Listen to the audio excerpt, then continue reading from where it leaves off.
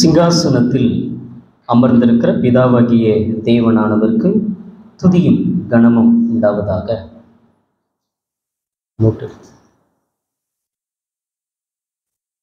இன்றைக்கு கர்த்தருடைய நாளிலே கூடி வந்திருக்கிற உங்கள் யாவரையும் வாழ்த்தி வரவேற்கிறேன். இன்றைய செய்தியின் தலைப்பாக மனுஷன் பார்க்கிறவனான் சொன்னாங்க. தேவனுடைய பார்வையும்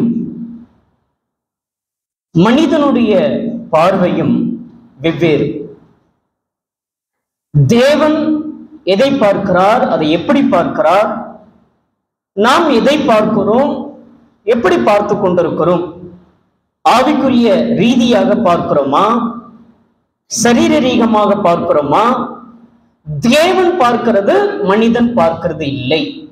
தேவன் பார்க்கிறது யார் பார்க்கிறது இல்லை? மனிதன் பார்க்கிறது இல்லை. ஒன்று சாமுவேல் பதினாறாம் அதிகாரம் ஏழாவது வசனம். பழியற்பாடிலே முன்னூற்றி அறுபதாவது பக்கம் எல்லாருமே திருப்பிக் கொள்ளுங்கள். ஒன்று சாமுவேல் பதினாறாம் அதிகாரம் பதி ஏழாவது வசனம். ஒன்று சாமுவேல் பதினாறாம் அதிகாரம் ஏழாவது வசனம். கர்த்தர் சாமுவேலை நோக்கி ஒன்று சாமுவேல் பதினாறாம் அதிகாரம் ஏழாவது வசனம் பழைய ஏற்பாடிலே பக்கம் முன்னூற்றி அறுபது. கர்த்தர் சாமுவேலை நோக்கி நீ இவனுடைய முகத்தை இவனுடைய சரீர வளர்ச்சியை நீர் பார்க்க வேண்டாம். நான் இவனை புறக்கணியே புறக்கணித்தேன். மனுஷன் பார்க்கிறபடி நான் பாரேன். மனுஷன் முகத்தை மட்டும்தான் பார்க்கிறான். கர்த்தர் இருதயத்தை பார்க்கிறார். மனிதன் எதை பார்க்கிறான் என்றால் சரீரங்களை பார்க்கிறான். இந்த உலகத்திலே தன்னுடைய கண்ணால எதையெல்லாம் பார்க்க முடியுமோ அதெல்லாவற்றையும் பார்க்கிறான் சரீரத்தை பார்க்கிறான். உலகத்தில் உள்ள தேவனால் படைக்கப்பட்டவைகளை பார்த்து கொண்டிருக்கிறான். ஆனால் தேவன் எதை பார்க்கிறார் என்றால் நம்முடைய இருதயத்தை பார்க்கிறார். அங்கு நடக்கக்கூடிய ஒரு சம்பவம் நமக்கு தெரியும். சவுல் முதல் முதலாவதாக ராஜாவாக ஏற்படுத்தின பிற்பாடு அவர் ஒரு முறை அல்ல மூன்று முறை தவறினார். இனி ராஜாவா இராதபடிக்கு தேவன் அவர் என்ன செய்தார் என்றால் புறக்கணித்து தள்ளினதை நாம் பார்க்க முடியும். ஈசாய்க்கு ஏழு மகன்கள் உண்டு. எல்லா மகனும் நல்ல அந்த போர் சேவக வேலை செய்யக்கூடியவங்க. மிலிட்ரி மேன் எப்படி இருக்கும்? ஓ இவன் தான் இருக்கணுமா? இப்ப இவன் தானா இவன் தானா இல்ல இல்ல. ஒவ்வொருத்தராய் அபிஷேகிக்கும் பொழுது இல்ல இல்ல என்று வருவதை நாம் பார்க்க முடியும்.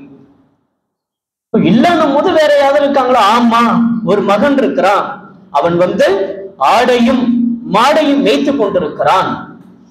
ஆனா அவனை கூப்பிடுனா அவனை கூப்பிட்டு அந்த மகன்தான் தாவிது தாவிதை அபிஷேகிக்கிறதை நாம் பார்க்க முடியும். ராஜாக்களையும் தீர்க்கதரிசிகளையும் பிரதான ஆசாரியர்களையும் பழைய ஏற்பாடிலே அபிஷேகிக்கிறதை நாம் பார்க்க முடியும். அந்த வேத வசனத்தை நாம் பார்க்கும் பொழுது மனுஷன் பார்க்கிறபடி நான் பாரேன் என்று எழுதப்பட்டிருக்கிறது. மனிதர்களாகிய நாம் முகத்தை பார்க்கிறோம். ஆனால் நானோ நான் எதை பார்க்கிறேன் என்றால் இருதயத்தை பார்க்கிறேன் என்று எழுதப்பட்டிருக்கிறது. இந்த உலகத்திலே நாம் பார்க்கிற பல விஷயங்கள் உண்டு. எத்தனை விஷயங்களில கண் வழியாக பார்த்து நாம் தீர்மானித்து விடுகிறோம். சிலர் பேச்சுகளை வைத்து தீர்மானித்து விடுகிறோம். சிலருடைய குணங்களை வைத்து தீர்மானித்து விடுகிறோம். சிலருடைய செயல்பாடுகளை வைத்து தீர்மானித்து விடுகிறோம். நல்லவர்களா கெட்டவர்களா என்பதை நாம் தீர்மானித்து விடுகிறோம். ஆனால் தேவன் பார்க்கிற விதமே வித்தியாசப்பட்டதாக இருக்கிறது. புதிய ஏற்பாடிலே பார்க்கும் பொழுது நாத்தான் வேல் என்கிற ஒரு மனுஷனை பார்க்க முடியும். யோவானுக்கு எழுதின சுவிசேஷம் ஒன்றாம் அதிகாரம் நாற்பத்தி ஏழாம் வசனம். யோவானுக்கு எழுதின சுவிசேஷம் ஒன்றாம் அதிகாரம் நாற்பத்தி ஏழாவது வசனத்தில் அதற்கு நாத்தான் வேல் நீர் என்னை எப்படி அறிவீர்? என்றான் இயேசு அவனை நோக்கி பிழிப்ப உன்னை அழைப்பதற்கு முன்னே நீ அத்தி மரத்தின் கீழ இருக்கும் போதே உன்னை கண்டேன். இயேசு பார்க்கிற காரியங்கள் வேற. இயேசு கிறிஸ்து நமக்காக பரிந்து பேசி கொண்டிருக்கிறார் இல்லையா? அப்போ இயேசு நம்ம எப்படி பார்த்து கொண்டிருக்கிறார்? பிதாவாகிய தேவன் நம்ம எப்படி பார்த்து கொண்டிருக்கிறார்? நாம் எப்படிப்பட்டவர்களாய் பார்த்து கொண்டிருக்கிறோம்? வேதாகமத்திலே பார்க்கும் பொழுது இப்படி பார்த்து கொண்டிருக்கிற நமக்கு நமது வழிகள் நம்முடைய பாதைகள் எப்படிப்பட்டதாக இருக்கிறது என்றால் வேதாகமத்தில் வாசிக்கும் பொழுது நீதிமொழிகள் பதினாறாம் அதிகாரம் இரண்டாவது வசனம். நீதிமொழிகள் பதினாறாம் அதிகாரம் இரண்டாவது வசனம். மனுஷாளுடைய பார்வையும் மனுஷாளுடைய வழிகளும் மனுஷாளுடைய பாதைகளும் எப்படிப்பட்டதாக இருக்கிறது என்று வேதம் சொல்வது என்றால் அவனுடைய பாதைகள் அவனுடைய வழிகள் மனுஷனுடைய வழிகள் எல்லாம் அவன் பார்வைக்கு எப்படி இருக்கிறது என்றால் சுத்தமானவைகளாய் இருக்கிறது. அவனுடைய பார்வைக்கு. இல்லப்பா என் வழியெல்லாம் சரியான பாதை தான் என்னுடைய வழியெல்லாம் சரியான வழிதான். சிலர் சொல்லுவாங்களே என் வழி தனி வழி அப்படின்ற மாதிரி என்னுடைய பார்வை வேற ஒரு பார்வை. இன்றைக்கு மக்களுக்கு சில திட்டங்களை கொடுக்கும் பொழுது இந்த திட்டம் எல்லாம் எங்களுடைய பார்வையிலிருந்து வந்தது. இது தூர பார்வை. இது தொலை தூர பார்வைன்னு சொல்லி அரசியல்ல சில ஆட்சியாளர்கள் சொல்வதை நாம் பார்க்க முடியும். ஆனால் வேதம் என்ன சொல்கிறது என்றால் மனுஷனுடைய வழிகள் எல்லாம் அவன் பார்வைக்கு எப்படி இருக்கிறது என்றால் சுத்தமானவைகளாக இருக்கிறது. ஆனால் கர்த்தரோ ஆவிகளை நிறுத்தி பார்க்கிறார். அப்படி நிறுத்தி பார்க்கிறார் நிறுத்தி பார்க்கிறார். நம்முடைய பார்வைகளும் நம்முடைய வழிகளும் எப்படிப்பட்டதாக இருக்கிறது? இப்போ நான் ஈ எறும்புக்கெல்லாம் துரோகம் பண்றதில்ல. நான் எல்லாருக்கும் நல்லது தான் செய்கிறேன் என்னுடைய பார்வை ரொம்ப சுத்தமானது தான் அப்படின்னு சொன்னாலும் அவர் எல்லாவற்றையும் நிறுத்து பார்க்கிறார் என்று எழுதப்பட்டிருக்கிறது. பதினேழாம் நீதிமொழிகள் பதினேழாம் அதிகாரம் நீதிமொழிகள் பதினேழாம் அதிகாரம் மூன்றாவது வசனத்தில் வெள்ளியையும் குகையும் பொன்னையும் புட- புடமிடும் புடமிடும் சோதிக்கும். இருதயங்களை சோதிக்கிறவரே கர்த்தர். இருதயங்களை சோதிக்கிறவரே கர்த்தர். நான் நல்லா தான் பார்த்துக்கிறேன். நான் நல்லா தான் செய்யறேன் என் வழியெல்லாம் சரியா தான் இருக்குன்னு சொன்னாலும் இருதயத்தையும் சோதிக்கிறவர் அவர்தான். ஆவிகளை நிறுத்தி பார்க்கிறவரும் தேவன் தான் நீதிமொழிகள் இருபத்தி ஒண்ணு இரண்டிலே சொல்லும் பொழுது மனுஷனுடைய வழிகள் எல்லாம் அவன் பார்வைக்கு செம்மையாகவே தோன்றும். கர்த்தரோ இருதயங்களை நிறுத்த பார்க்கிறார். ஆவியும் நிறுத்த பார்க்கிறார். இருதயத்தையும் நிறுத்த பார்க்கிறார் என்று நாம் பார்க்கிறோம். கொஞ்சம் தரசுல தராசில வச்சு பார்த்தா எப்படி இருக்கும்? நம்முடைய பாதைகளும் நம்முடைய பார்வைகளும் எப்படிப்பட்டதாக இருக்கும்? வேதாகத்தில் வாசிக்கும் பொழுது ஏசையா நாற்பதாம் அதிகாரம் பன்னிரெண்டாவது வசனம். ஏசையா நாற்பதாம் அதிகாரம் பன்னிரெண்டாம் வசனத்தில் நாம் படிக்கும் பொழுது தண்ணீர்களை தமது கைப்பிடையால் அளந்து யாராவது அளக்க முடியுமா? கைப்பிடியால தண்ணீரை அளக்க முடியுமா? எவ்வளவு தண்ணீர் இருக்கிறது? நாம் எதை பார்த்து கொண்டிருக்கிறோம்? தேவன் எப்படி பார்த்து கொண்டிருக்கிறார்? என்றுதான் அந்த தலைப்பின் கீழாகத்தான் நாம் இந்த தேவனுடைய வார்த்தையை தியானிக்கிறோம். சற்று அந்த வார்த்தை நல்ல ஆழமாக அதை நாம் தியானம் பண்ணி பார்ப்போம். தண்ணீர்களை தமது கைப்பிடையால் அளந்து வானங்களை ஜான அளவாய் பிரமாணித்து பூமியின் மண்ணை மரக்காலிலே அடக்கி பர்வதங்களை தூளு கோளாலும் மலைகளை பராசாலும் நிறுத்துகிறவர் யார்? மலையெல்லாம் இருக்கு இல்லையா? இவ்வளவு பெரிய மலைகள்லாம் இருக்குது. தராசுல வச்ச தராசுல வைக்க முடியுமா? மண்ணு கொஞ்சம் கொஞ்சமா அளந்து பார்க்க முடியுமா? வானத்தை வந்து நம்ம வந்து ஜான் அளவா அளந்து அதை வந்து உண்டாக்க முடியுமா? நான் வந்து ஒன்னொன்னா அளந்துட்டு வந்துடுறேன்னு சொல்லி. எவ்வளவு மகிமையான ஒரு தேவன். உங்களுடைய பார்வையும் என்னுடைய பார்வையும் எவ்வளவு ஒரு வித்தியாசப்பட்டதாக இருக்கிறது. தேவனுடைய பார்வையும் நம்முடைய பார்வையும் எவ்வளவு வித்தியாசப்பட்டதாக இருக்கிறது என்பதை நாம் வேதாகமத்திலிருந்து ஒரு சில விஷயங்களை நாம் பார்க்க போகிறோம். நாம் எதை பார்க்கிறோம் என்றால் உதாரணத்துக்கு நம்முடைய சரீரம் நம்முடைய சரீரம் அழகா இருக்கிறதா? அது அலங்கரிக்கப்பட்டிருக்கிறதா? என்பதை நாம் பார்க்கிறோம். ஆனால் தேவன் அதை பார்ப்பது இல்லை. சரீரம் அழகா இருக்கிறதா? அல்லது அலங்கரிக்கப்பட்டிருக்கிறதா? என்பதை யார் பார்க்கிறோம் என்றால் மனுஷாலாகிய நாம் பார்க்கிறோம். தேவன் அதை பார்க்கிறாரா என்றால் நமது சரீரத்துக்கு வரக்கூடிய பாவங்களில் இருந்து நீங்கி இருக்கிறதா என்பதை தான் பார்ப்பார். அதுதான் தேவன் பார்க்க தேவன் எப்படி பார்க்கிறார் என்றால் உன் சரீரத்துல பவுடர் போட்டியா சென்ட் போட்டியா விதவிதமா துணி போட்டியா அல்லது நீ நல்லா அலங்காரம் பண்ணிக்கிட்டியா ஆஹா சூப்பரா இருக்கிற அழகா இருக்கிற ரொம்ப நல்லா இருக்கிற இன்னைக்கு குளிச்சுட்டு வந்திருக்கிற குளிக்காம வந்திருக்கிற அப்படின்னு நம்ம தான் பார்ப்போம் இல்லையா? ஆனா தேவன் அதை என்ன பார்ப்பாரு? உன் சரீரத்தில் இருக்கக்கூடிய பாவங்கள் நீங்கினதா என்று தான் தேவன் பார்ப்பார். அப்ப அவருடைய பார்வைகள் வேற நம்முடைய பார்வைகள் வேற. நாம என்ன பார்க்கிறோம்? வெள்ளையா இருந்தா என்ன செய்ய மாட்டான்? பொய் சொல்ல மாட்டான் இல்லையா? வெள்ளையா இருக்கிறவன் என்ன சொல்ல மாட்டான்? அப்ப மாநிலமா இருக்கிறவங்களாம் பொய்யும் பொய்யும் உண்மையும் சொல்லுவானோ? கருப்பா இருக்கிறவன் ரொம்ப பொய் சொல்லுவானா? இல்ல இல்ல அப்போ பொய்யா இருக்கிறவன் உண்மையா இருக்கிறவன் சரீரத்தை வைத்து என்ன செய்து விடுகிறோம்? தீர்மானித்து விடுகிறோமா? சரீரத்தில் எது நீங்க வேண்டும் என்றால் தேவன் எப்படி பார்க்கிறார் என்றால் பாவம் நம்மை விட்டு நீங்க வேண்டும். தன் பாவங்களை மறைக்கிறவன் வாழ்வு அடைய மாட்டான். அவைகளை அறிக்கை செய்து விட்டு விடுகிறவன் இரக்கம் பெறுவான். சாமுவேலே நீ முகத்தை பார்க்கிறாய். நான் எதை பார்க்கிறேன் என்றால் இருதயத்தை பார்க்கிறேன். நீ நல்ல பலசாலியான உடம்பை பார்க்கிறாய். ஓ ராஜானா எப்படி இருக்கணும்? ஒரு ராஜானா சவுல் பார்த்தா நல்ல உயரமா இருப்பார். நல்ல அழகுள்ளவரா இருப்பார். அங்க இருக்கக்கூடிய இஸ்ரவேலிலே நல்ல அழகு நிறைந்தவர். யாரு? சவுல். ஆனால் இப்பொழுது அப்பேற்பட்ட அந்த சவுல் உயரம் நிறைந்த ஒரு சவுல் அழகு நிறைந்த ஒரு சவுல் தேவனுடைய வார்த்தைக்கு கீழ்ப்படியவில்லை. அவன் செய்த காரியம் எப்படி இருக்கிறது என்றால் ஒன்று சாமுவேல் பதினஞ்சாம் அதிகாரம். அவன் செஞ்ச செயல் தேவனுக்கு எப்படி இருக்கிறது? அழகா தான் இருக்கிறாரு அறிவா தான் இருக்கிறாரு புத்தியா தான் இருக்கிறாரு. ஆனால் தேவனுடைய வார்த்தைக்கு கீழ்ப்படியலன்னு சொன்னா அவனை குறித்து வேதம் என்ன சொல்லுகிறது? ஒன்று சாமுவேல் பதினஞ்சாம் அதிகாரம் இருபத்தி இரண்டு இருபத்தி மூன்று நான் வாசிக்கிறேன். அதற்கு சாமுவேல் கர்த்தருடைய சத்தத்திற்கு கீழ்ப்படுகிறதை பார்க்கணும் சர்வாங்க தகனங்களும் பலிகளும் கர்த்தருக்கு பிரியமாயிருக்குமோ?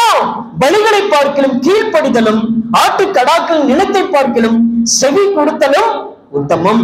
ரெண்டகம் பண்ணதலும் வெள்ளி சூனியம் பாவத்திற்கும் முரட்டாட்டம் பண்ணுதலுக்கும் அவபக்திக்கும் விக்கிரக ஆராதனைக்கு சரியா இருக்கிறது நீ கர்த்தருடைய வார்த்தையை புறக்கணித்தபடியால் அவர் உண்மை ராஜாவாயிராதபடிக்கு புறக்கணித்து தள்ளினார் என்றான். இருபத்தி நாலுல அப்பொழுது சவுல் சாமுவேலை நோக்கி நான் கர்த்தருடைய கட்டளையும் உம்முடைய வார்த்தைகளையும் மீறடைந்தனால் பாவம் செய்தேன். நான் ஜனங்களுக்கு பயந்து நான் யாருக்கு பயந்தேன்? நான் என்ன செய்தேன்? அவர்கள் சொல்லை கேட்டேன். இப்போதும் நீர் என் பாவத்தை மன்னித்து நான் கர்த்தரை பணிந்து கொள்ளும்படி என்னோடு கூட திரும்பி வாரும் என்றான் சாமியல் சவுலை பார்த்து. நான் உம்மோடு கூட என்ன செய்வதில்லை? திரும்பி வருவதில்லை. ஒரு முறை அல்ல ரெண்டு முறை அல்ல மூணு முறை தேவன் சொல்லுகிறார். இஸ்ரவேல் ஜனங்கள் வழி வரும் பொழுது அம்லேக்கன் என்ன செய்தான் என்றால் வழிமறித்து விட்டான். அதனால அம்லேக்கன் உண்டான எல்லாவற்றையும் அழித்து விட வேண்டும். அங்க இருக்கிற அந்த தேசம் அந்த இருக்கக்கூடிய அந்த பட்டணம் பட்டணத்தில் இருக்கக்கூடிய ஜனங்கள் அந்த ராஜா எல்லாவற்றையும் அழிக்கணும்னு சொன்னா அழிக்கணும். இல்ல இல்ல இல்ல. அழிக்கலாம் மாட்டேன். இல்ல இல்ல. அது வந்து ஆடும் மாடும் அது தேவனுக்கு பலி செலுத்தும்படியாக அதுல நான் எடுத்து வச்சுட்டேன்னு அப்படியே சொல்ல- ஒரு- ஒரு ஒரு சாக்கா சொல்ல என்ன சொல்றோ அதை செய்யணும். நன்மை தீமை அறியத்தக்கதான கனியை நீ புசிக்க கூடாதுன்னு சொன்னா புசிக்க கூடாது. இல்ல சாப்பிட்டுட்டு புருஷனுக்கும் கொடுப்பேன்னா ரெண்டு பேரும் தேவ மகிமை காணாம ஒளிந்து கொண்டதையும் பிறகு அன்னைக்கு தொடங்கின அந்த பாவம் இன்றைக்கு வரைக்கும் ஆளுகை செய்து கொண்டிருக்கிறது. என்ன சொன்னாரோ? செய்யணும். நோவனிடத்தில் என்ன சொன்னார் என்றால் இதோ நீ கொப்பேறு மரத்தால் என்ன மரத்தால்? நீ வேப்ப மரத்தாலும் நீ வந்து தென்னை மரத்தாலும் என்ன செய்வாயாக? அப்படின்னு சொன்னாரா? கொப்பேறு மரம் சொன்னா கொப்பேறு மரம் தான் அந்த மரத்தால் நீ என்ன செய்ய வேண்டும் என்றால் பேழையை உண்டாக்கு. அதனுடைய நீளம் அதனுடைய உயரம் அதனுடைய ஆழம் அதனுடைய அகலம் என்ன மெஷர்மெண்ட் என்ன அளவு கொடுத்தார் இருந்தாரோ அந்த அளவு பிரகாரமாகவே நோவா என்ன செய்தார் என்றால் பேழையை கட்டினார். அதுல ஒண்ணு குறைச்சிக்கிறேன் ஐயா. முடியல. மலையெல்லாம் ஏற வேண்டியதா இருக்குது. ரொம்ப கஷ்டமா இருக்குது. அப்படின்னு சொல்லல. அப்ப தேவன் என்ன சொன்னாரோ அதை செய்து முடித்தார். தேவன் தனக்கு சொன்னதெல்லாம் நோவா செய்து முடித்தான் என்று வேதாகத்தில் வாசிக்கும். ஆபிரகாம் கிட்ட என்ன சொன்னாரோ? ஆபிரகாம் உன்னுடைய ஒரே நேச மகனை தகன பலியிடன்னு சொன்னா அது செஞ்சுதான் ஆகும். அப்ப இன்றைக்கு நமக்கு புதிய ஏற்பாடில் வாழ்ந்து கொண்டிருக்கிற நாம் எதை பார்த்து கொண்டிருக்கிறோம்? அன்றைக்கு அவர்கிட்ட சொல்லும் பொழுது யார் கீழ்ப்படியவில்லையோ அந்த கீழ்படியாதவர்களுடைய காரியம் வேதம் என்ன சொல்கிறது என்றால் நீ பில்லி சூனியம் போய் செஞ்சுட்டு வந்தேன்னு அர்த்தம். அப்படிதான் வேதம் எழுதப்பட்டிருக்கு. ரெண்டகம் பண்ணுதலும் பில்லி சூனியும் பாவத்திற்கும் முரட்டாட்டம் பண்ணுதலுக்கும் அவபக்திக்கும் விக்கிரக ஆராதனை சரியா இருக்கிறது. நீ கர்த்தருடைய வார்த்தை என்ன செய்தால் புறக்கணித்து தள்ளினாய். அப்போ நமக்கின்றது எது நீங்க வேண்டும் என்றால் பாவம் நீங்க இந்த எங்க என்ன நீங்கணும்? இந்த சரீரத்திலே பாவம் நீங்க வேண்டும்.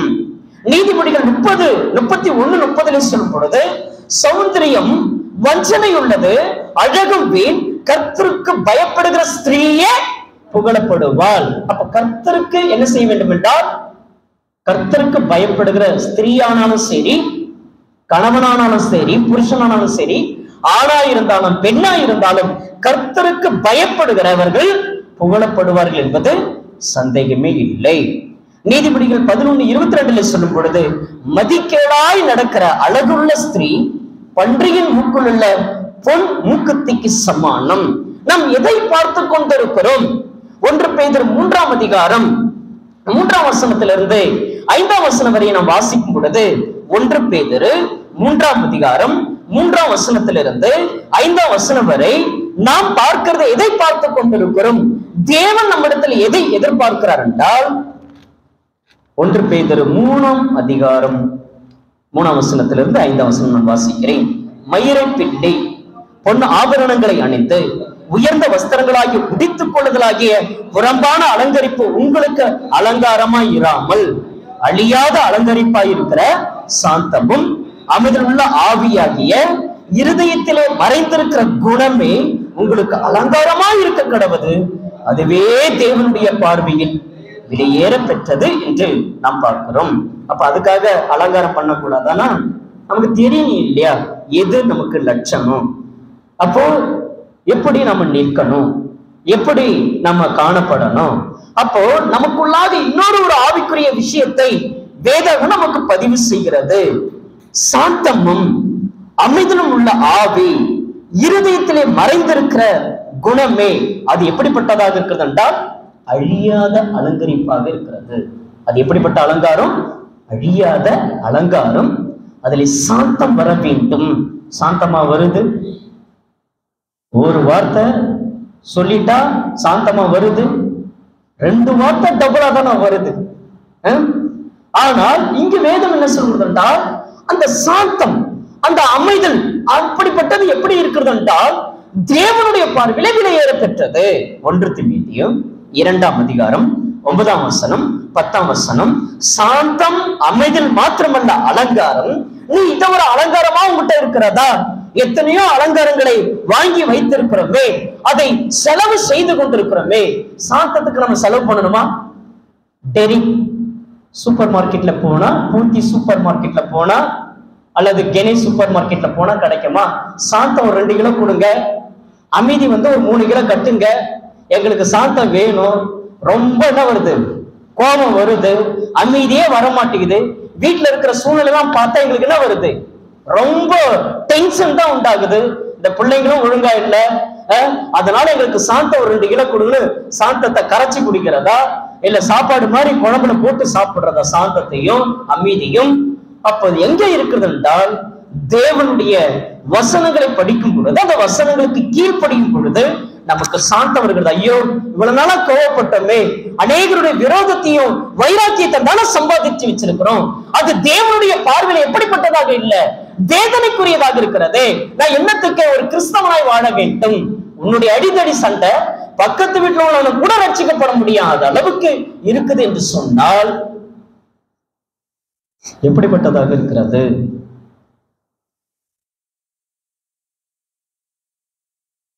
நம்மளையும் கொஞ்சம் சோதிச்சு பார்த்தோம்னா தெரியும். ஆஹா பரலோகம் போயிடுவோமா? அப்படின்னா நமக்கே தெரியும். போயிடுவோமா? இந்த குணங்களை நான் வச்சுக்கிட்டு. அப்படின்னா கஷ்டம்தான். ஆனா சாந்தம் இருக்கட்டும் அமைதி இருக்கட்டும் ஒன்று திமிதியும் இரண்டாம் அதிகாரம் ஒன்பதாம் வசனம் பத்தாம் வசனம். இங்கே என்ன எழுதுகிறார்? ஸ்திரீகளும் ம் ம் ம் ம் ம் ம் ம் ம்.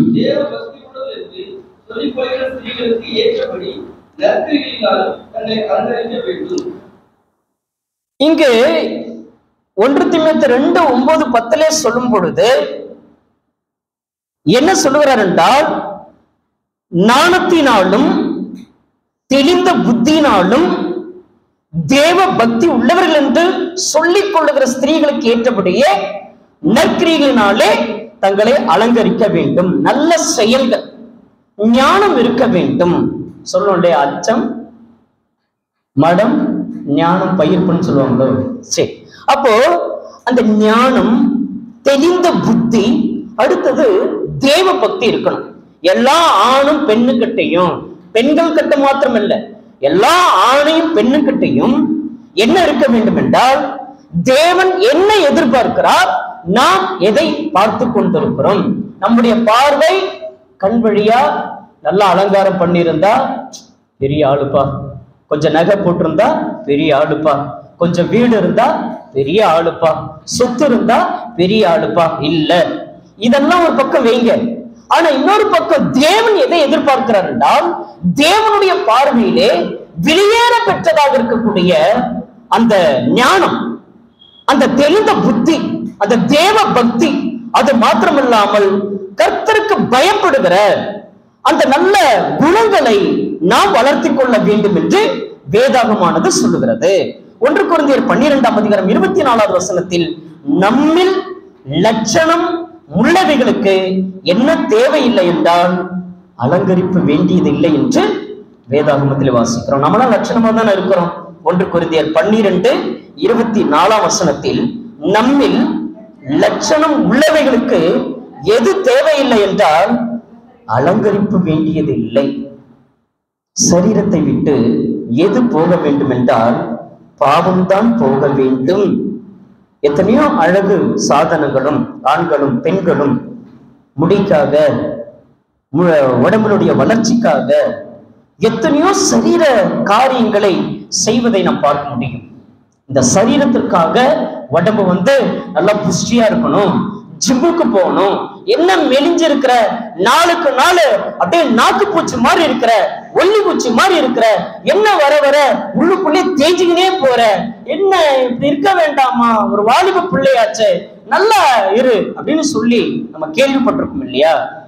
ஒல்லியா இருக்கிறோம் குண்டா இருக்கிறோம் மெலிஞ்சு இருக்கிறோம் மெலியாம இருக்கிறோம் வெள்ளையா இருக்கிறோம் கருப்பா இருக்கிறோம் அல்லது நல்லா அலங்காரத்தை எல்லாத்தையும் வாங்கி போட்டுக்கிறோம் போட்டுக்கல. எல்லாம் ஒரு பக்கம் இருந்தாலும் இன்னொரு பக்கம் தேவனுடைய பார்வை தேவன் பார்க்கக்கூடிய ஒரு பார்வை அது எந்த பார்வையாக இருக்க வேண்டும் என்று நாம் வேதாகமத்தில் வாசிக்கும் பொழுது ரோமர் ஆறாம் அதிகாரம் பன்னிரெண்டாம் வசனம் பதிமூன்றாவது வசனம். ரோமர் ஆறாம் அதிகாரம் பன்னிரெண்டாம் வசனம் பதிமூன்றாவது வசனம். ஆகையால் நீங்கள் சரீர இச்சையின்படி பாவத்திற்கு கீழ்ப்படியத்தக்கதாக சாவுக்கு ஏதுவான உங்களுடைய சரீரம் பாவம் ஆளாதிருப்பதாக எத்தனையோ அலங்காரங்களை நீங்களும் நானும் செய்து கொண்டிருக்கும் பொழுது அது எதிலே வந்து ஆளுகை செய்கிறது என்றால் பாவம் வந்து அந்த சரீரத்திலே ஆளுகை செய்கிறது. அப்ப கீழே பாருங்களேன் பதிமூன்றாவது வசனத்தில் நீங்கள் உங்கள் அவியங்களை அநீதியின் ஆயுதங்களாக பாவத்திற்கு ஒப்புக்கூடாமல் உங்களை மரித்தோரிலிருந்து பிழைத்திருக்கிறவர்களாக தேவனுக்கு ஒப்பு கொடுத்து உங்கள் அவியங்களை நீதிக்குரிய ஆயுதங்களாக தேவனுக்கே ஒப்புக் கொடுங்கள் ரோமர் பதிமூன்றாம் அதிகாரம். ரோமர் பதிமூணாம் அதிகாரம். பதிமூன்றாம் வசனம் பதினான்காம் வசனம். ரோமர் பதிமூன்றாம் அதிகாரம் பதிமூன்று பதினான்கு. கலியாட்டும் களியாட்டும் வெறியும். களியாட்டுனா நமக்கு நல்லா தெரியும் இல்லையா?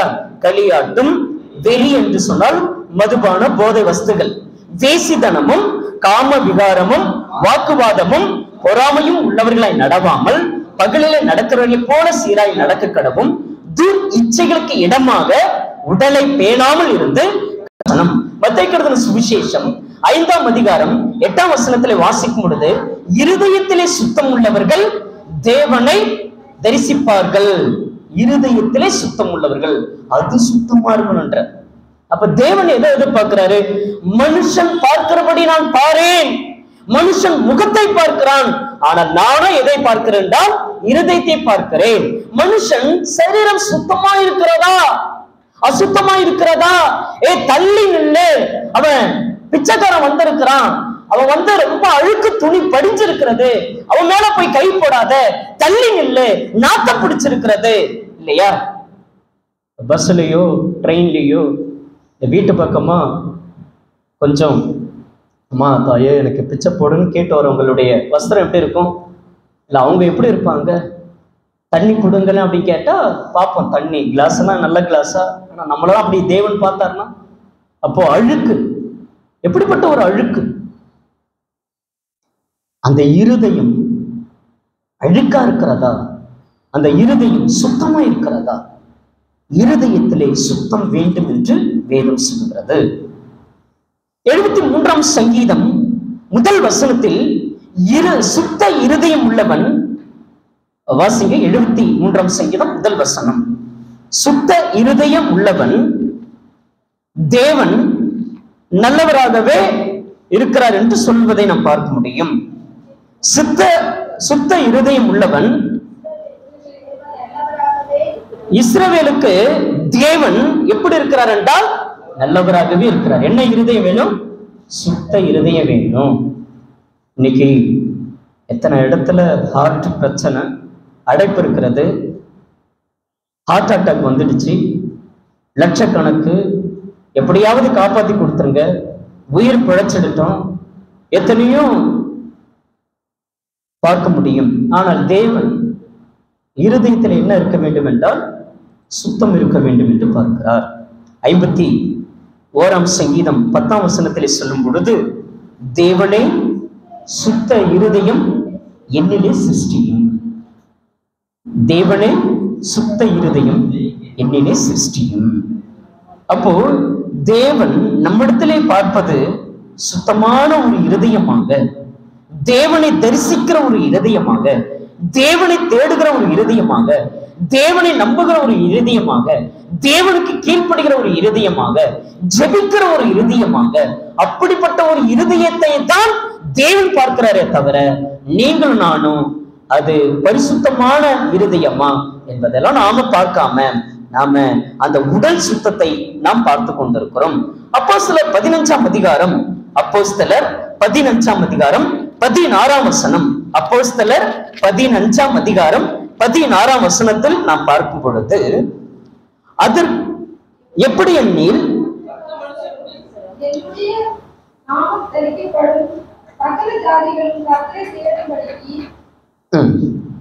வாசிங்க.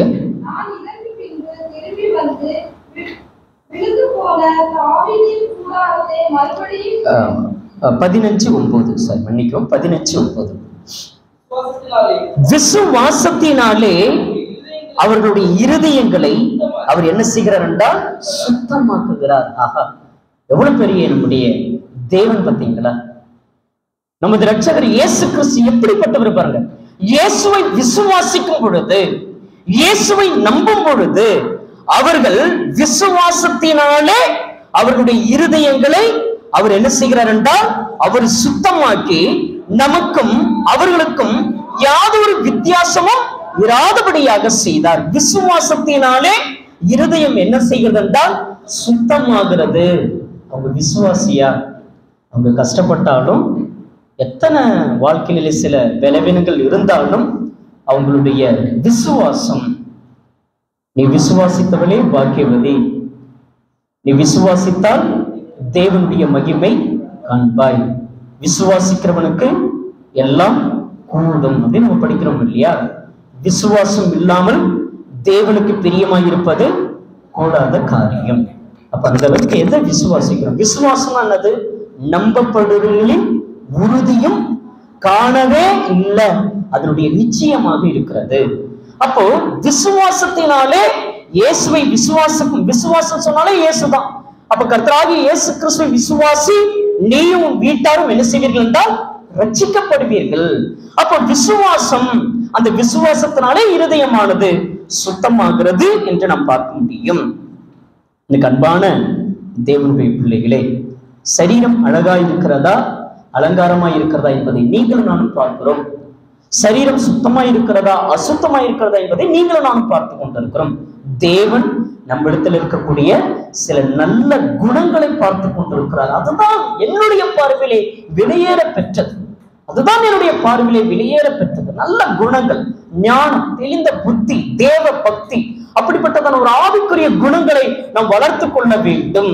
நம்முடைய இருதயம் எப்படிப்பட்டதாக இருக்க வேண்டும் என்றால் சுத்தமுள்ளதாக இருக்க வேண்டும். அதுக்காக நம்ம இருதயத்தை என்னையாவது எடுத்து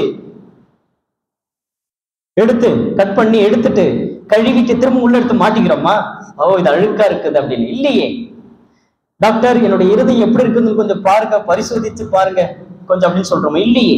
அப்ப வசனங்களை கேட்கும் பொழுது என்னுடைய இருதயம் இனி இப்படி இருக்கக்கூடாது. அது சுத்தமாகத்தான் அது தேவன் பார்க்கிறார். தொடர்ந்து வேதாகமத்திலே பார்க்கும் பொழுது எனக்கு நவமான இருதயத்தை தாரும். எனக்கு புதிய இருதயத்தை தாரும். என்னுடைய உள்ளான மனுஷன் நாளுக்கு நாள் என்ன செய்ய வேண்டும் என்றால் புதிதாக்கப்பட வேண்டும். என்ன செய்யப்பட வேண்டும்?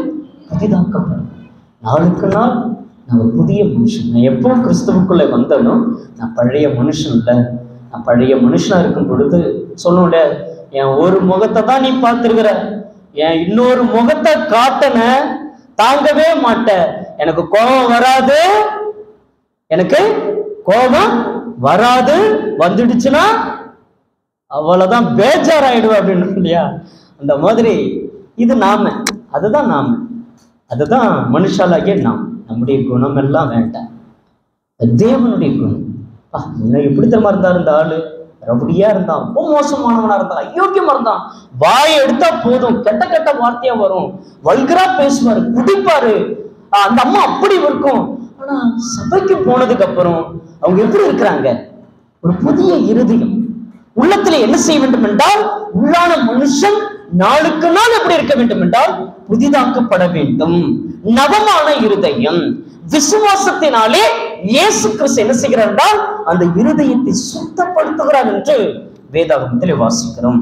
சரி நமக்குலாம் நிறைய அறிவு இருக்குது. மூன்றாவதாக நம்முடைய அறிவு பார்த்தா பயங்கரமா இருக்கும். அப்பா, என் பிள்ளை என் பொண்ணு என் புருஷனுக்கு என்ன அறிவு என் பொண்டாட்டிக்கு என்ன அறிவு என் பொண்டாட்டிக்கு எது சொன்னாலும் என் மனைவிக்கு எது சொன்னாலும் ஞாபகத்துல வச்சிருப்பா எந்த டைம் வருதோ அந்த டைம் என்ன செய்வா அதை கரித்தாக அதை வந்து சரியாக எடுத்து சொல்லுவா என் பொண்டாட்டி மாதிரி என் மனைவிய மாதிரி அவ்வளவு அறிவுள்ளவங்க இந்த உலகத்துல இல்ல.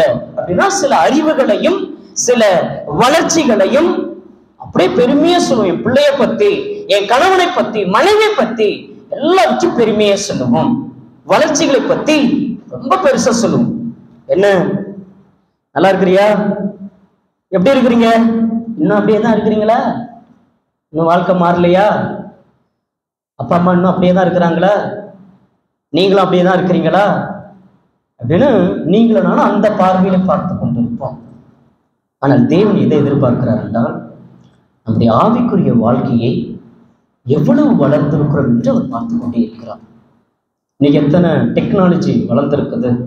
கூரை வீடெல்லாம் ஓட்டு வீடாகி ஓட்டு வீடெல்லாம் இன்னைக்கு மாடி வீடு ஆகி அந்த மாடி வீட்டுக்குள்ள பலவிதமான வளர்ச்சிகளை நாம் பார்க்க முடியும். ஒரு அதுக்கு ஒரு கட்டன் போடணும் அதுக்கு ஒரு ஜன்னல் போடணும் அதுக்கு ஒரு லைட் இந்த லைட்டு வேண்டாம் அது வந்து கல் தெரியல. அதனால இந்த லைட்டு போடு வீட்டுக்குள்ளே இவ்வளோ அலங்காரம் பண்ணு இல்லையா? எத்தனை வளர்ச்சிகளை நாம் பார்த்து கொண்டிருக்கிறோம்? ஒரு காலத்துலலாம் அந்த பட்டன்ல அழுத்திக்கிட்டு இருப்போம். இப்ப பார்த்தா என்ன ஆயிடுது? இன்னைக்கு அந்த வளர்ச்சி மேல போயிடுச்சு. போன்ல செல்போன்ல சொருவிட்டு இருக்கிற காதல மாட்டிருக்கிறதா இன்னைக்கு ப்ளூடூத் எல்லாம் வந்துடுச்சு இல்லையா? வளர்ச்சி பார்க்கும் பொழுது அந்த வளர்ச்சிகளை பார்க்க முடியும். உலகத்திலே சில அறிவுகளும் சில வளர்ச்சிகளும் அடைந்திருக்கிறது நாம் பார்க்கிறோம். என் பிள்ளை இப்போ நல்லா படிக்குது நல்ல அறிவாக இருக்குது நல்லா வளர்ந்துருக்குது. முன்னாடி இவ்வளோ சம்பளம் வாங்கிட்டு இருந்தாரு. இப்போ கொஞ்சம் பரவாயில்ல கம்பெனியில் என்ன செஞ்சுருக்கிறாங்க? அவனுடைய வேலையை பார்த்து அவனுடைய அறிவை பார்த்து அவனுடைய வளர்ச்சியை பார்த்து என்ன செஞ்சிருக்கிறாங்க? சம்பளத்தை வந்து உயர்த்தி கொடுத்துருக்காங்க இதெல்லாம் நீங்களும் நானும் பார்ப்போம் இல்லையா? ஆனால் தேவன் என்ன பார்க்கிறாரு? இரண்டு பேதரு மூன்றாம் அதிகாரம் பதினெட்டாவது வசனத்தில் வாசிக்கும் பொழுது உங்ககிட்டயும் என்கிட்டயும் இந்த அறிவு என்னைக்கையாவது வளர்ந்திருக்கிறா நம்ம பார்க்கணும். இரண்டு பேதரு மூன்றாம் அதிகாரம் பதினெட்டாவது வசனம். இரண்டு பேதரு மூன்றாம் அதிகாரம் பதினெட்டாவது வசனம். நம்முடைய கர்த்தரும் இருக்கிற இயேசு கிறிஸ்துவின் கிருபையினாலும் அவரை அறிகிற அறிவிலும் வளருங்கள். அந்த அறிவில் யாராவது வளர்ந்திருக்கிறீங்களா? அந்த அறிவில் யாராவது வளர்ந்திருக்கிறோமா? இயேசு எப்படி இருக்கிறாரு? இயேசு எப்படிப்பட்டவர்? இயேசு பத்தி நமக்கு என்ன தெரியும்? இயேசு என்ன செய்து கொண்டிருக்கிறாரு? அவர்தான் இவரு இவர்தான் அவரா? எப்படிப்பட்ட இடத்துல நாம் இருந்து கொண்டிருக்கிறோம்? வேதம் என்ன சொல்கிறது என்றால் நீங்க உலக அறிவை பார்த்து கொண்டிருக்கிறீங்க. உலக வளர்ச்சியை நீங்கள் பார்த்து கொண்டிருக்கிறீங்க. அதெல்லாம் ஒரு பக்கம் இருக்கட்டும். ஆனா இன்னொரு பக்கம் நீங்கள் பார்க்க வேண்டியது என்றால் நம்முடைய கர்த்தராகி இயேசு கிறிஸ்துவை அறிகிற அறிவிலே நீங்கள் வளர வேண்டும். அந்த அறிவு வளர்ந்திருக்குதா? இயேசுவை நீங்க எந்த அளவுக்கு அவர் என்ன ஆராய்ச்சி செஞ்சு பார்த்திருக்கிறீங்க? இயேசு கிறிஸ்துவை குறித்து ஒரு நூறு வசனம் என்ன சொல்ல தெரியுமா? இயேசு கிறிஸ்து என்ன செய்தார்? இயேசு கிறிஸ்து நமக்கு என்னெல்லாம் போதித்திருக்கிறார்? இயேசு கிறிஸ்து நமக்கு என்ன காரியங்களை கற்றுக் கொடுத்திருக்கிறார்? அவர் நமக்கு என்ன உபதேசித்திருக்கிறார்? அவர் நமக்கு ஆத்மீக புருஷனாச்சே. மாம்ச புருஷனை பத்தியே நமக்கு தெரியல. பிள்ளைங்களை பத்தி என்ன பண்ணுது ஏது பண்ணுதுன்னு தெரியல. பொண்டாட்டி என்ன பண்ணுதுன்னு தெரியல. இதுல வேற இயேசு பத்தி எங்க இருந்து நாங்க போய் அறிஞ்சுக்கணும். எங்களுக்கு டிவியில பாக்குறதுக்கு கரெக்டா இருக்கு அதுலதான் நிறைய ரெண்டு ரெண்டு பொண்டாட்டியே சொல்லி கொடுக்குறது நம்ம சீரியல்லாம் அப்படிதான் பார்க்கணும். எந்த அறிவுல வளர்ந்து கொண்டிருக்கிறோம்? எதுல நீங்கள் வளர்ந்து கொண்டிருக்கிறீர்கள்? இங்க ஏன்னா அது சினிமா அப்படின்னா அது ஒரு கட்டுக்கதை. அது உண்மை சம்பவம்? ஆனா ஒரு டைரக்டருடைய கற்பனை அது. அவர் வந்து அதுல ஒருத்தரை நல்லவரா காட்டுறாரு ஒருத்தர் கெட்டவரா காட்டுறாரு. ஆனால் இந்த பரிசுத்த வேதாகமும் நமக்கு பிதாவாகிய தேவன் தான் டைரக்டர் நீ எங்க வரணும் நீ என்ன செய்யணும் எப்படி இருக்கணும் எப்படி வாழணும் எப்படி வாழக்கூடாது அவர் நமக்கு தப்பாவே சொல்லி கொடுக்க மாட்டார். எல்லா டைரக்டரும் உண்மையை உண்மையா சொல்ல முடியுமா? எங்கே ஒரு இடத்துல தவறு விட்டுருக்கலாம். சில கற்பனை திறமைகளை பார்க்க முடியும். இந்த பொம்பளை இப்படிதான் இருக்கும். இந்த வில்லனுக்கு இப்படிதான் இருப்பான். இந்த ஹீரோ இப்படிதான் இருப்பான். இந்த காமெடியன் இப்படிதான் இருப்பான். அப்படின்னு அதான் யாருடைய கற்பனை என்றால் ஒரு டைரக்டருடைய கற்பனை. அவனுடைய கற்பனையில அவங்களை உருவாக்குகிறான். அதை பார்த்துட்டு கை தட்டுறோம் விசில் அடிக்கிறோம் சூப்பர்ன்றோம் ஆஹா அருமை அப்படின்றோம். அதுக்கு எத்தனை செலவு அதுக்கு எத்தனை அலங்காரங்கள்? இல்லையா? அதனுடைய சில உடலிலே சில அடியெல்லாம் பட்டுடுச்சு. அதனுடைய எல்லாம் பார்த்தீங்கன்னா அதுக்கேத்த அந்த மேக்கப் இல்லையா? ஆனால் இயேசு கிறிஸ்து எந்த மேக்கப்லாம் கிடையாது. இயேசு கிறிஸ்து அறிகிறதான அறிவிலே எத்தனை பேர் வளர்ந்திருக்கிறோம்? தேவன் அதுதான் பார்ப்பார்.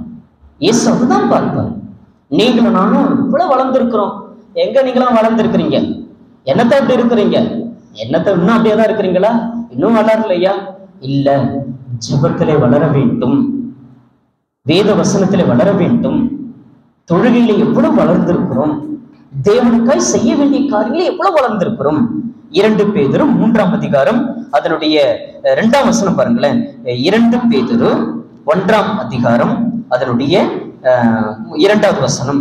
தேவனையும் இரண்டு பேதரு ஒன்றாம் அதிகாரம் இரண்டாவது வசனம் முன்னூற்றி இருபத்தி இரண்டாவது பக்கம் தேவனையும் நம்முடைய கர்த்தராகி இயேசுவையும் அதிகர அறிவினால் உங்களுக்கு கிருபையும் சமாதானம் பெருக கடவுது நீங்க இயேசுவை பார்க்க ஆரம்பிச்சிட்டீங்கன்னா அங்கே கிருபை வருது. நீங்க இயேசுவை அறிகிற அறிவு வந்துச்சுன்னா உங்களுக்கு சமாதானம் வரும். நீங்க உலக ரீதியாய் சில சினிமாக்காரனையும் உலக ரீதியாய் சில உங்களுடைய சில நிகழ்வையும் சில மனுஷால் உங்களுக்கு சொல்லுகிற வார்த்தைகளை நீங்கள் கேட்க கேட்க கேட்க கேட்க இல்லையா? நம்ம பல பேர் ஸ்டேட்டஸ்லாம் வைப்போம். நானும் வைப்பேன் பயங்கரமா வைப்பேன். நீங்களும் வைப்பீங்க நானும் வைப்பேன். ஆனால் அது அவனுடைய ஒவ்வொரு மனிதனுடைய கற்பனை அது சிலது பிடிச்சதா இருக்கும். சில பேர் தேவனும் ஆண்டவராகிய இயேசு கிறிஸ்துவையும் அறிகிற அந்த அறிவிலே வளரும் பொழுது நமக்கு கிருவையும் தராரு நமக்கு சமாதானமும் தராரு கிருபை எத்தனை அறிவு இருக்குது? எத்தனை நல்ல வசதி படைத்தவர்கள்? தூக்கு மட்டும் சாவறான். ஏன் அவனுக்கு அந்த அறிவு இல்லை? ஏன்னா இயேசு கிறிஸ்துவ அறிகிற அறிவு அவனுக்கு இல்லை. நல்ல பணம் இருக்கும் நல்ல சொத்து இருக்கும். பார்த்தா அறிவு எங்கேயோ போய் கீழே போய் விழுந்திருக்கும். காரணம் இயேசு கிறிஸ்துவை அறிகிற அறிவு அவன்கிட்ட இல்லை. அதனாலதான் கிருபை இல்லை அதனாலதான் அவனுக்கு சமாதானம் இல்லை. அதனாலதான் அவனுக்கு சந்தோஷம் இல்லை. நாம் இயேசு கிறிஸ்துவை அறிகிற அறிவை நாம வளர வேண்டும் என்று தேவன் பார்த்துக்கிட்டே இருக்கிறார். அதனுடைய எட்டாம் வசனம் பாருங்க. ஒன்றாம் அதிகாரம் எட்டாம் வசனம் இரண்டு பேதர் ஒன்று எட்டிலே. ஆஹ் ஆஹ்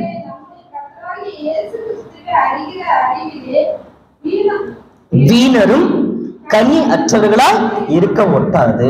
நீங்க கர்த்தராக இயேசு கிறிஸ்து அறிகிற அறிவிலே நீங்க இருந்தீங்கன்னா நீங்க வேஸ்ட் கிடையாது. நம்மளை பார்த்து சொல்லுவாங்க இதெல்லாம் வேஸ்ட் இதெல்லாம் ஒண்ணுத்துக்கும் உதவாது. இதெல்லாம் வேஸ்ட் இதெல்லாம் படிக்கவே படிக்காது. இது மக்கு இது தண்டம். இது போற இடம் வாய்க்குமா? சொல்லுவாங்க இல்லையா? நாம சொல்லுவோம்.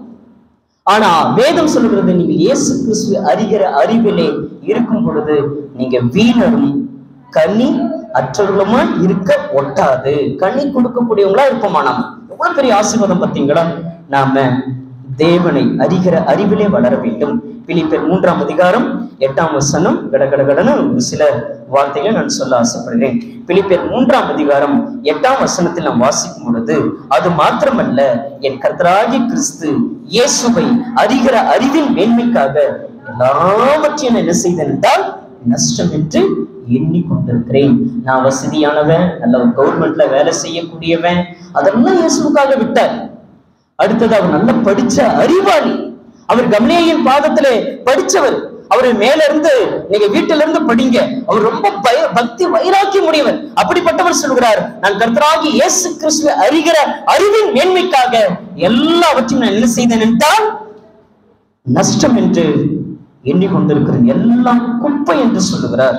எல்லாமே குப்பை பதினோராவது வசனத்திலே அவருக்காக எல்லாவற்றையும் நஷ்டமென்று விட்டேன். குப்பையுமாக நீங்க எதெல்லாம் வளர்ச்சி எதெல்லாம் பெருசு எதெல்லாம் மேன்மை படிச்சுட்டா போட்டுக்கணும் இல்லையா? பட்டம் பதவி அழகு அலங்காரம் இதெல்லாம் அப்போஸ் பவுல் சொல்கிறார் அதெல்லாம் குப்பை அதெல்லாம் என்னது? இயேசு கிறிஸ்துவை அறிகிற அறிவிலே நான் வளரும் பொழுது அதெல்லாம் எனக்கு குப்பை என்று அப்போ பவுல் சுகதினம் பார்க்க முடியும். என்னங்க? எவ்வளோ பணம் இருக்கிறது? உங்க கூட சேர்ந்து நான் கஷ்டப்படணுமா? ஏன்னா என்ன பிச்சைக்காரனா? பிச்சைக்காரியா?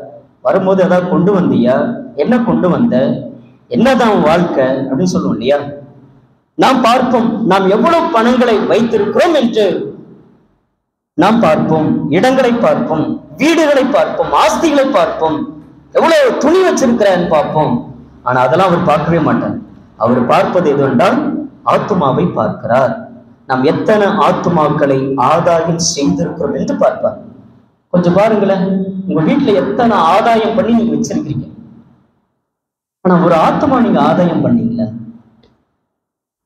வீட்டுல பல காரியங்களை ஆதாயப்படுத்தி வச்சிருக்கோம். படிப்பு பொருள் அந்த பொருள் இருக்குது. இந்த பொருள் இருக்குது. என் வீட்டுக்கு வந்தால் நான் சமையல் பண்ணுறதா இருந்தால் இந்த பொருள் இல்லைன்னு சொல்லக்கூடாது. நான் குடிக்கிறதா இருந்தால் எனக்கு இந்த பொருள் இல்லைன்னு சொல்லக்கூடாது. என்கிட்ட எல்லா பொருளும் அழகழகாக இருக்குது. எல்லாம் இருக்கட்டும். ஆனால் ஆத்மா ஆதாயம் செஞ்சுருக்கிறீங்களா? அதை பார்க்குறாராம் தேவன். வாசித்து பாருங்கள். நீதிமொழிகள் பதினோராம் அதிகாரம் முப்பதாவது வசனம். நீதிமொழிகள் பதினோராம் அதிகாரம் முப்பதாவது வசனம். நீதிமொழிகள் பதினொன்னு முப்பது வேதம் சொல்லுகிறது நீதிமானுடைய பலன் ஜீவ விருட்சம் ஆத்துமாக்களை ஆதாயப்படுத்திக் கொள்கிறவன் அவன் தான் ரொம்ப ஞானம் உள்ளவன் ஒன்று குருந்தியர் ஒன்பதாம் அதிகாரம் ஒன்று குருந்தியர் ஒன்பதாம் அதிகாரம் ஒன்பதாம் வசனத்திலிருந்து இருபத்தி இரண்டாம் வசனம் வரை நாம் வீட்டிலிருந்து நம்ம படிக்கும் பொழுது இந்த ஒன்று குறைந்த ஒன்பதாம் அதிகாரத்தை நீங்க படிச்சீங்கன்னா எப்படிதான் நம்மளால வீட்டுல சும்மா இருக்க முடியும்? எப்படிதான் ஒருத்தர் ஆதாயப்படுத்தாம இருக்க முடியும்?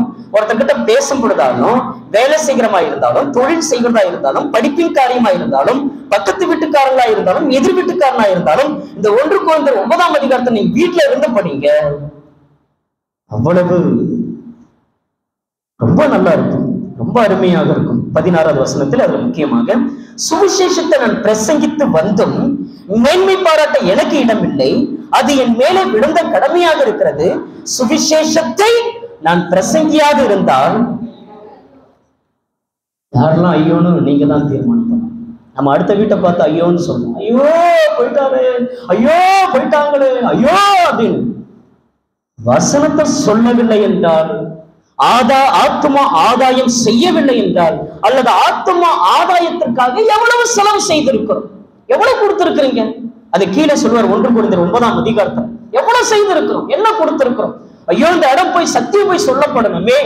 இதை வந்து வளர்ச்சி செய்யணுமே. என்ன செய்து கொண்டிருக்கிறோம்?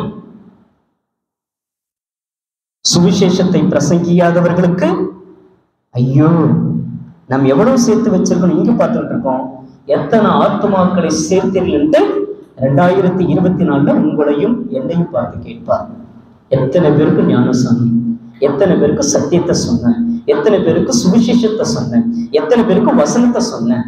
உட்காந்து எத்தனையோ தேவையில்லாத செயல். நம்முடைய கணியபுரம் திருச்சபையா உண்மையாலுமே ஒரு பெரிய ஆசீர்வாதமான சபையார் தான் நீங்களும் நானும் உயர்ந்த குலமோ தாழ்ந்த குலமோ பார்ப்போம். நீங்க யாரு? நீங்க யாரு? என்னெல்லாம் அப்படிதான் ஆரம்பத்துலலாம் கேட்டாங்க. எனக்கு அதெல்லாம் தெரியாது. நீங்க எந்த ஆளு? நீங்க எந்த இது? எந்த ஜாதி? ஆனா அதெல்லாம் அவர் பார்க்க மாட்டார். அவர் என்ன தெரியுமா பார்ப்பாரு? யோவானுக்கு எடுத்த சுவிசேஷம் மூன்றாம் அதிகாரம் மூன்றாம் வசனத்திலிருந்து ஏழாம் வசனம் வரை நாம் பார்க்கும் பொழுது அந்த வார்த்தைகளை நாம் தியானம் செய்வோம். நீ உயர்ந்த குலமோ நீ தாழ்ந்த குலமோ நீ என்று அவர் பார்ப்பதில்லை. நீ எதிலே பிறந்திருக்க வேண்டும் என்று சொன்னார். வாசித்து பாருங்கள் யோவானுக்கு எழுதின சுவிசேஷம் மூன்றாம் அதிகாரம் மூன்றாம் வசனம். இயேசு அவர்களுக்கு பிரதியுத்தரமாக ஒருவன் ஒருவன் ஒருவன் மறுபடியும் பிறவாவிட்டால் தேவனுடைய ராஜ்யத்தை அவன் காணவே மாட்டான். கீழே வாசிங்க. என்று மெய்யாகவே மெய்யாகவே உங்களுக்கு சொல்லுகிறேன். ஆஹ்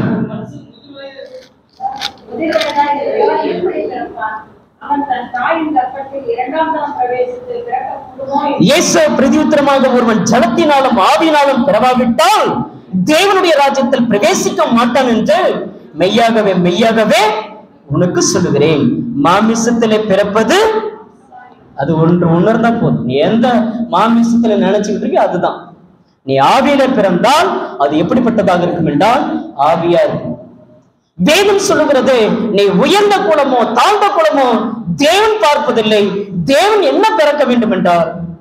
ஆவினாலும் ஜலத்தினாலும் பிறவாவிட்டால் தேவனுடைய ராஜ்யத்தில் பிரவேசிக்க மாட்டான். சத்திய வசனத்தாலே ஜெனிப்பிக்கப்பட்டவர்கள் வசனத்தாலே பிறப்பார்கள். அதாவது சத்திய வசனத்தாலே பிறக்க வேண்டும் என்று வேதம் சொல்லுகிறது. அழிவுள்ள வித்தினாலே அல்ல அல்லாத வித்தினாலே பிறந்தார்கள். சரி நம்ம உயர்ந்த வஸ்திரமோ தாழ்ந்த வஸ்திரமோ அல்ல நம்ம என்ன வஸ்திரம் போட வேண்டும் என்றால் ரட்சிப்பின் வஸ்திரத்தை போட வேண்டும் என்று வேதாகம் சொல்லுகிறது. உங்களுக்கு எங்கெங்கெல்லாம் பேர் இருக்கிறது அப்படின்னு கேட்டா எனக்கு வந்து சர்ச்சில் எங்க பேர் இருக்கிறது எங்க பேரை சொல்லி ஜோம் பண்றாங்க. திருமண நாள் வந்தா பிறந்த நாள் வந்துட்டா கல்யாண நாள் வந்தா அந்த நாள் இந்த நாள் வந்தா சொல்லி விளைவினங்கள் வந்தால் சொல்லி ஜோம் பண்றாங்க. ஆதார் கார்டில் பேர் இருக்கிறது ரேஷன் கார்டில் பேர் இருக்கிறது ஓட்டர் ஐடியில் பேர் இருக்கிறது. இதெல்லாம் இருக்கிறது. இதெல்லாம் நாம் பார்ப்போம். ஆனால் தேவன் அதை பார்க்க மாட்டார். தேவன் என்ன பார்ப்பார் என்றால் பிலிப்பியர் நான்காம் அதிகாரம் மூன்றாம் வசனத்தை சொல்லி நான் நிறைவு செய்கிறேன். பிலிப்பியர் நான்காம் அதிகாரம் மூன்றாம் வசனம். மனம் திரும்புகிற ஒரு பாவி நிமித்தம் பரலோகத்தில் மிகுந்த சந்தோஷம் உண்டாகிறது மாத்திரமல்ல.